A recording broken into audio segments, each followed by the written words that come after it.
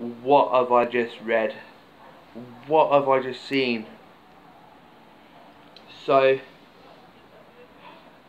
I'm on holiday. Even though I'm on holiday in Spain, I've seen tweets, I've seen Facebook pages, uh, Facebook posts, I've seen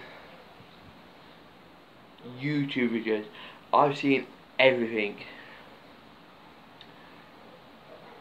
Chris Jericho versus Kenny Omega wrestle wrestle whatever for in January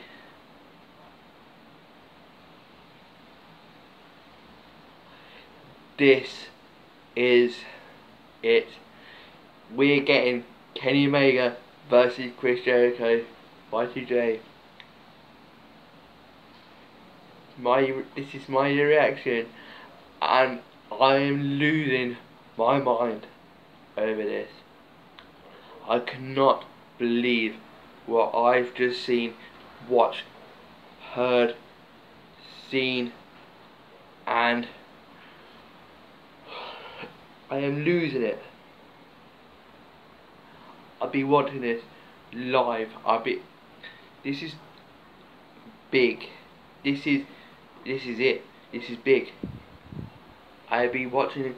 I'll be screaming the house down, or, or the roof off, wherever I am, watching this. I've got to watch this, and I'm. I'm watching it straight away. I don't care. I'm. I'm watching it straight away. I can't believe we're getting Kenny Omega versus Y2J. I do not know who's going to win. I do not know who I'm going to cheer for.